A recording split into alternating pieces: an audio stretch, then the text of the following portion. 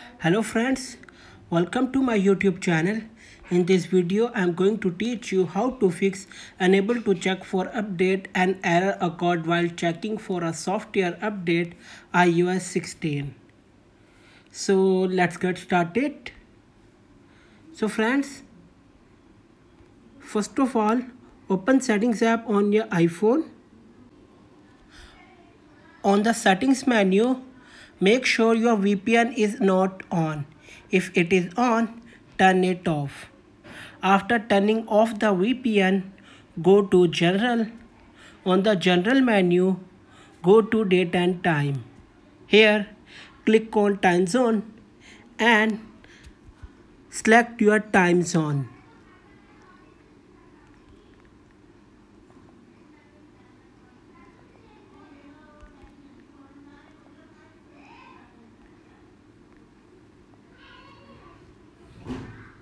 After that, turn on set automatically.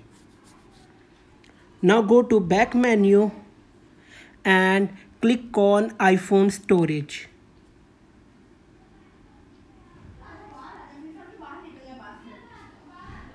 Here, make sure you have 8 to 10 GB of space to download the software.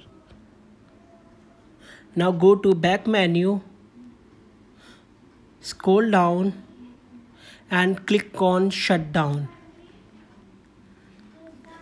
Now slide to power off. After restarting the iPhone, go back to settings menu, scroll down and click on general, click on software update.